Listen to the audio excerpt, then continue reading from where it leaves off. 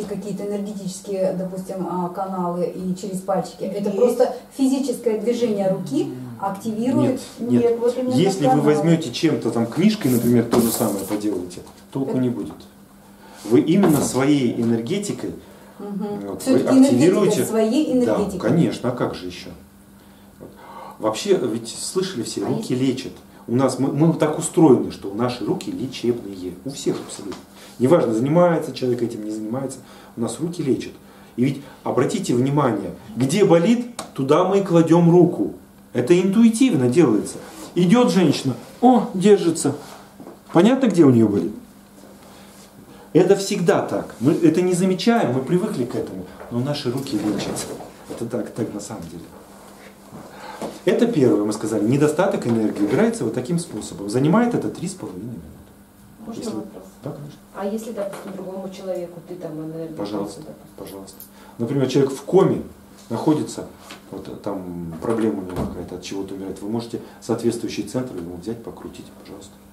Вот у человеку плохо, вы можете, например, у мамы у вас там или у папы инфаркт развивается, та же самая стенокардия, да? Вот. Он там охает, ахает, ему не до того, он не знает, вы подошли, покрутили, вы сразу же прерывали этот, этот приступ стенокардии. Легко и просто. Можно другому человеку делать, пожалуйста. Все э, реаниматологи знают, э, у реаниматологов э, есть э, приметы как у, наверное, у большинства профессий каких-то, вот у врачей, которые работают в реанимации, в реанимационном отделении, а, у них есть примета. Если человек, находящийся в отделении в коме, то есть без сознания, тянется рукой в пах, значит он час-два и умрет. Все знают это, никто не знает почему. Человек без сознания, человек в коме, то есть обездвиженный, да, и вдруг рука начинает тянуться в пах промежности. Почему? а потому что первая чакра промежностная – это чакра жизни и смерти. Если бы тот же самый реаниматолог просто взял и активировал эту чакру, он бы спас жизнь человеку и вывел его из комы. И тело само, уже даже в обездвиженном состоянии, само тянется, пытается что-то сделать. Да? Лена говорит, у отца так было. Это, это стандарт, понимаете, это обязательно.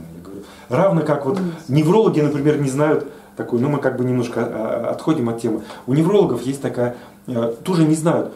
Любой человек а, после инсульта, который терял при инсульте речь, начинает говорить с мата. Неважно, какого уровня развития человек, он может никогда матерных слов в жизни не употреблял. Начинает первые слова, которые начинает говорить матерные, обязательно.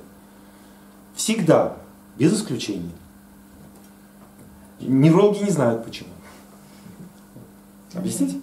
Чакру жизни активирует, да? А, потому что мат это не просто ругань, не просто ругательство. Вот обращали внимание, это интересная, кстати говоря, тема, ну немножко, пять минут мне дадите, объясню.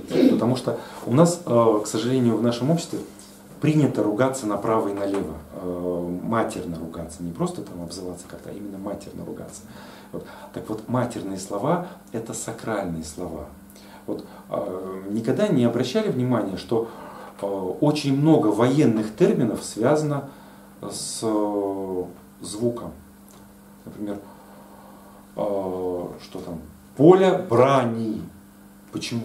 Никогда не, не задумывались, почему поле брани? С какой радости? Почему? Мы что, ругаться снова пришли или драться? Да? А потому что раньше, когда-то, у нас не было оружия физического не было вот этих мечей, там, арбалетов, всего прочего. И люди поражали противника звуками. Почему мы говорили, что форма, звук и цвет меняют это пространство, этот материальный мир. И изменение пространства, поражение противника шло с помощью звука. звука. Поэтому очень много рота, да, поля брани. Если вы посмотрите военную терминологию, там половина, наверное, слов связана с звукопроизнесением. На самом деле это так. Потому что это вот оттуда все идет, с тех пор. Так вот, а, слова, которые употреблялись, вот эти бранные опять слова, да, поле брани, бронимся, это как раз вот мат. И вот эти самые матерные слова. Вот. И поскольку они являлись ключевыми, очень важными, они употреблялись только на поле брани.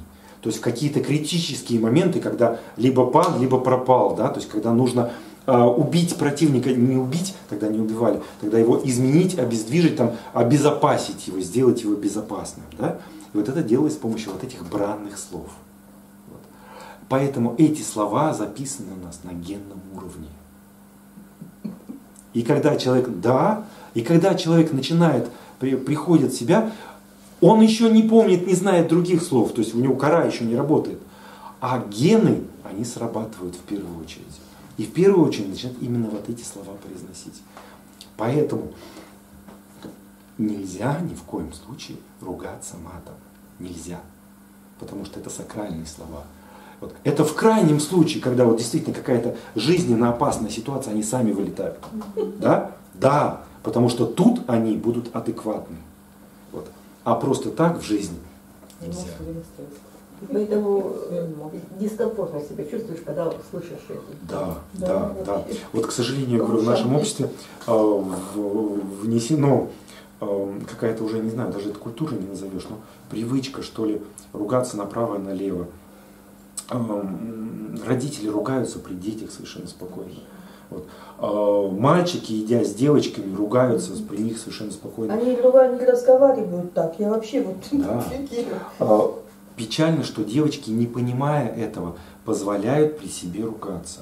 Вот. Э, это тоже очень важно. Почему? Потому что э, нарушение, то есть произнесение этих слов вызывает нарушение, опять-таки, на генном уровне. Вот. Это не просто так все. Вот. А, если девочка позволяет при себе кому-то ругаться, эта девочка себя не уважает. А в отношениях с мальчиком я всегда вот своим дочерям говорю, если сама себя уважать не будешь, никогда тебя мальчик уважать не будет. Почему? Потому что он к тебе будет относиться не как к человеку, а как к тому, что может удовлетворить его потребности. Вот и все. Он к тебе так и будет относиться. То есть ему нужно переспать женщину, он с тобой переспит и все. Уважать тебя он никогда не будет. Почему? Потому что ты сама себя не уважаешь. То есть принцип такой. Скажите, пожалуйста, а вот э, алкоголизм, курение, это с чем связано? Не, давайте не путать все опять котлеты и мухи.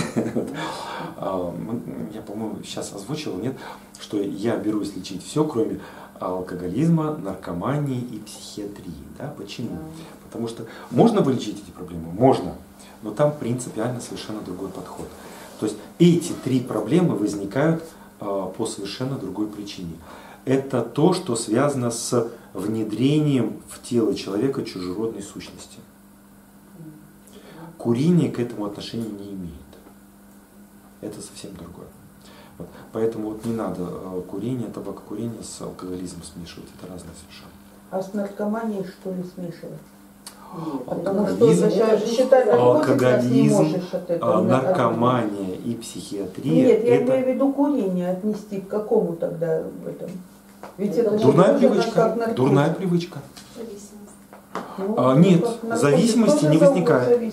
Это в, вот в, нарк, в, в наркомании возникает зависимость, в алкоголизме возникает зависимость, а в, в табакокурении нет. Там зависимость. А почему люди не могут бросить? Чистой воды привычка. Не могут чаще всего потому, что не хотят. Ну так же и алкоголь, мне кажется. Пока сам человек не захочет. Нет, а, дело в том, что алкоголь является одним из метаболитов нашего тела. Алкоголь это метаболит. Ежедневно в нашей печени вырабатывается порядка 100 мл э, чистого этилового спирта. То есть надо, да? Алкоголь это наш естественный метаболит. И алкоголизм, зависимость от внешнего употребления алкоголя возникает только в одном случае, когда мы употребляем алкоголь часто. Почему? Потому что закон сохранения энергии. Если мы получаем это снаружи, зачем нам вырабатывать это внутри? Вырабатывать не хочется. Да. Поэтому если человек достаточно регулярно употребляет алкоголь, перестает он вырабатываться в собственной печени.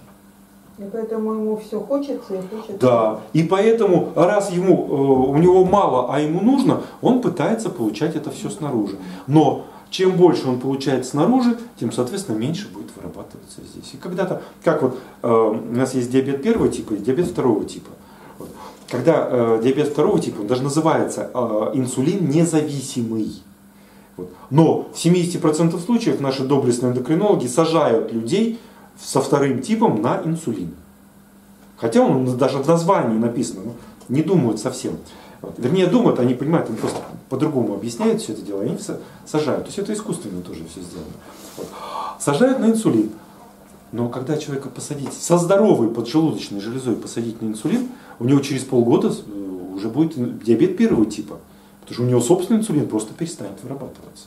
Так же, как человека сажают на гормоны, у него собственные гормоны перестают вырабатываться. И все. Полгода, год, и вы потом не слезете с этого. Почему? Потому что своего не будет. Это тот же самый алкоголизм. Только единственное, что а, к алкоголизму всегда, не всегда, но на конечных этапах, вот тогда, когда возникают, а, то есть начальный алкоголизм с внедрением чужеродной сущности не связан. Чужеродная сущность внедряется позже. И когда появляются такие проявления, то есть не всякий алкоголизм связан с, проявлением, э, с внедрением сущности, когда появляются такие вещи, как а, человек что-то делал, а потом не помнит что, вот это уже внедрение чужеродной сущности. Это уже показатель того, что да, он как бы ну, дошел до точки. Потом в грибу, э, в лесу, где детские грибочки, да? А потом не помню, дошел до точки. Вот, ну вот так вот как-то. Какой-то еще был вопрос, что мы отошли? Мы начали про то, что вот энергетические нарушения. Вы про недостаток энергии сказали, а про дисбаланс? А, да, ну правильно. Увлекаюсь и ухожу в сторону. А, недостаток мы сказали, как убирается. Дисбаланс а, убирается а, тоже просто. У нас передняя сторона тела ассоциирована с энергией инь, задняя сторона тела ассоциирована с энергией ян. Соответственно, если вы попеременно будете напрягать то одну, то другую, одну, другую, одну, другую, вот, три раза переходить от одной к другой, то, соответственно, вы будете балансировать эти энергии. То есть напрягли переднюю поверхность, 30 секунд подержали, напрягли заднюю, 30 секунд подержали. Лучше всего делать в положении лежа. На спину легли, ручки, ножки слегка развели, голову приподняли, согнулись, вот лежа на спине, да, 30 секунд задержались в этом положении. Потом перевернулись, прогнулись назад, лежа на животе, 30 секунд задержались в этом. Опять на спину, опять на живот, опять на спину, опять на живот. Три раза переходить. Все. Таким образом, это занимает, если по 30 секунд, еще 3 минуты. Значит, вот 3,5 одно, усиление энергетики и 3 минуты другое, балансировка энергии. Если вы 6,5 минут в сутки будете тратить на э, себя, то у вас никаких болезней не будет. Все понятно? А вот можно вопрос? Значит, вот вы говорили про кислотно-щелочной баланс, да? Вот мне интересно, а вот это так люди рождаются или по какой причине? У кого-то повышенная кислотность, у кого-то пониженная. Кто-то вот не может вот кислое давай, и он не чувствует. Вы а кто-то наоборот. Вы, вы, вот опять, это что? вы опять пытаетесь смешать котлеты с Нет, я спрашиваю. Нет, вот я говорю, Да. вы, спрашиваете, потому что вы не понимаете, смешивая одно с другим. Когда речь идет о кислотно-щелочном балансе, речь идет о теле. А вы сейчас говорите А, про ну, кислотность желудка. Да, да. У вот. нас пищеварительный тракт устроен таким образом, что там э, должна перевариваться пища, которую мы принимаем. В частности, кислоты и щелочи участвуют в этом пищеварении. Почему? Потому что кислоты разлагают э, пищу и щелочи разлагают пищу. И эти процессы тоже существуют в нашем э, пищеварительном тракте. Но они только вот в этом пищеварительной И вот трубке. узнать, что хуже, а что лучше из этого. Не- Не то, да? Что лучше, плюс или минус?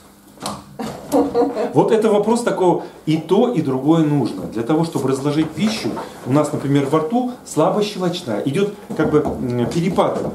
Э, Я не то, что такое. Я не об этом. Я имею в виду пониженная кислотность Нет, э, это менее опасная или повышенная менее вот для организма. А Вот, э, вот это что хуже, что лучше? Говорят, хрен редьки не А. слаще. Поэтому и то, и другое является проявлением э, болезни. Вот мы говорим, принцип золотой середины, да? То есть это вот весь мир так устроен. Вот синусоида. Все процессы идут по синусоиде. Сначала в одну сторону, потом в другую. Здоровье – это тогда, когда отклонение в одну сторону такое же, как отклонение в другую. Нездоровье – это тогда, когда в одну сторону больше, в другую меньше. Нет, вот я хотела узнать, это люди так рождаются с таким? Или как? Вот почему у одних, да, у одних повышено, а у кого у других повышено? Потому что у одного может быть э, отклонение в одну сторону, а у другого может быть отклонение в другую То есть это ничего на это не Вот влияет? когда вы берете маятник, он качается одинаково, да? Это баланс. Если вы его возьмете, поймаете, он будет в эту сторону стоять, да? Это будет болезнь. Если вы его поймаете с этой стороны, он будет в эту сторону стоять. Это тоже будет болезнь. Любая крайность вредна. Это всегда патология. Да? Истина всегда посередине. Только надо понимать, что это не статика, а это динамика. Когда в одну сторону столько же, в другую. Поэтому э, не сказать, что лучше, что хуже. Опять смотря для чего. Ну, например, для примера. Для желудка. Для, для примера привожу. Не, я говорю, невозможно ответить на этот вопрос адекватно. Потому что э, тогда всегда, а почему так? А вот увеличение кислотности э, приводит к проблемам в желудочно-кишечном тракте. К язве, к изъязвлению, к нарушению желчевыделения и так далее, и так далее. То есть все к печеночным проблемам и поджелудочным проблемам. Это значит, у кого кислотность э, Высокая. повышенная, у того больше У шансов того заболеть Вот эти да? проблемы, да. А недостаточная кислотность, например, э, очень часто заканчивается онкологией. А, ну вот так вот. Вот. Это Поэтому, повышенное, пониженное давление. поэтому я говорю, да? хрен Это инсульт, а это не онкология. слаще. Да. Поэтому и то, и другое это болезнь.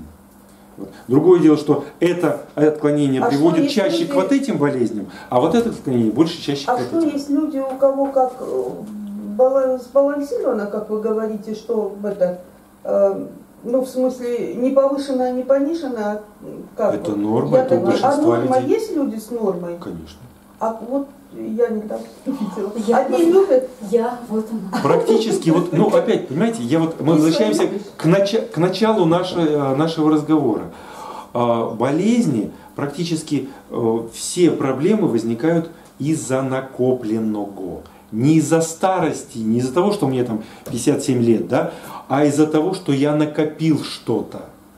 Другое дело, я могу это накапливать, а могу не накапливать. Накопил, убрал, накопил, убрал, накопил. Это мои проблемы.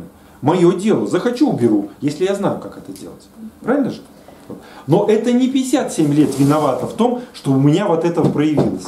Я почему спрашиваю, потому что у детей, у маленьких, одни лимон берут и едят, как, как будто яблоко, а другие от яблока, от кислого, им это уже кислое, им только вот конфета. Вот я вот поэтому говорю, что тут не возраст, а вот именно от, рождаются люди так или как вот получается, что... Очень много всего э, здесь замешано. То есть проблемы могут иметь проблемы, э, корни на кармическом каком-то, то есть с прошлых жизней идти. Да? Э, вообще, э, вот мы как раз вот недавно разговаривали вчера, да, с Ириной на эту тему. Э, Если вот брать как бы другой аспект появления проблем, две причины появления проблем, две всего. Первое. Проблемы э, заболевания даются человеку тогда, когда для решения какой-то задачи. Ведь наша душа рождается, воплощается в этом теле для того, чтобы чему-то научиться, решить определенные задачи. Да? То есть вот поступи, пошли мы в пятый класс, мы начинаем там решать задачки вот такие-то. Да? Соответственно, в зависимости от уровня развития души, каждом воплощении свои задачи. Вот. Кому-то нужно одни задачи решать, кому-то другие. Соответственно, болезни могут быть либо для того, дана, чаще всего эти детские проблемы, э, это проблемы, которые даны для, это задачи, которые даются ребенку для решения. Ну, например, эм, нужно человеку вот в этой жизни научиться там доброте, состраданию, там еще чего-то. У него обязательно будет какая-то боль. Почему? Потому что невозможно э, сострадать боли другого, если ты сам не знаешь, что такое боль. Так ведь? Поэтому, чтобы человек научился чувствовать боль другого, нужно, чтобы у него была своя боль. И у него в этой жизни будет какая-то проблема, он будет страдать, мучиться с тем или с другим. Для чего? Для того, чтобы выработать в себе это качество. Никогда об этом никто знать не будет. Он будет ходить к врачам, врачи будут его лечить, у него будет боль продолжаться.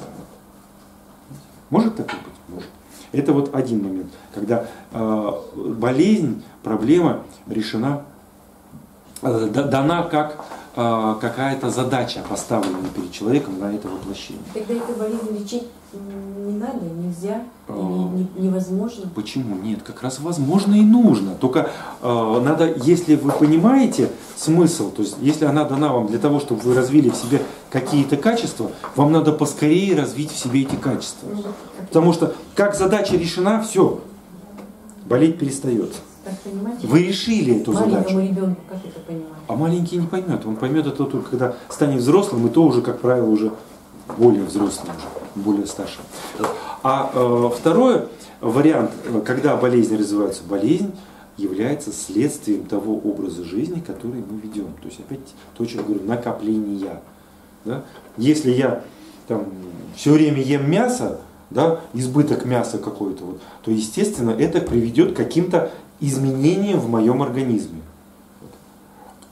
Если я опять что-то буду делать не так, эти изменения вполне могут развиться в болезнь какую-то. Так ведь? И так далее. Вот. Поэтому здесь вот эта болезнь, в большинстве случаев болезнь всегда это наш какой-то неправильный образ жизни. Соответственно, для того, почему я всегда говорю, врач за вас, вас здоровым не сделает. Почему? Потому что болезнь вами заработана. Вы, ваш образ жизни привели к тому, что у вас вот развилась вот эта болезнь. Соответственно, к какому бы вы там семипяди во лбу врачу не пришли, он за вас эту проблему не решит. Вы должны сами решить. Единственное, что может сделать врач, помочь вам. Да, он может вам объяснить, рассказать и сказать, что сделать. Но за вас он ее не решит. Вот это надо понимать четко.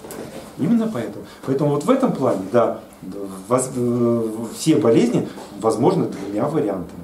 Либо для чего-то, либо вследствие чего-то. Так. Мгм. Ответил? Кислотность. Что кисло? Нет, ну тут уже ладно, кислотность, все, я поняла с ней. Ну, вернемся к алкоголю. Так. Вот вы говорите... А не выпить ли нам? Чуть позже. Вот, значит, вы говорите, что немножко где-то его можно употреблять алкоголь, чтобы Ну, там... во-первых, я такого еще не произнес, но вы абсолютно правы. Нет, вы говорите, часто и много, это вредно. А когда где-то немножко, вроде как бы... Да, я сделала вывод, что это значит нормально. А если человек вообще не пьет, это тоже плохо? Или это... Э, Это, это тоже ненормально. Это тоже ненормально. Рассказываю. Вот когда я запомнил на всю жизнь, у нас был очень интересный преподаватель по психиатрии на пятом курсе, психиатрии во всех медвузах, и в академии то же самое. Вот, вот, вот такого ростика, ну метр с кепкой. Щупленький такой, глаза на выкате, еврейчик такой интересный,